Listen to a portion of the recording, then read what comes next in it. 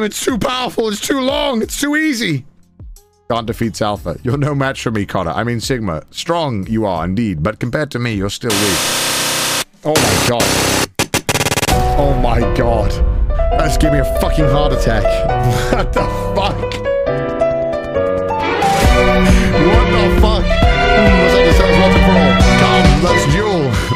The battle that was always meant to be. Cross versus crossless. Bone versus boneless. Winner versus loser.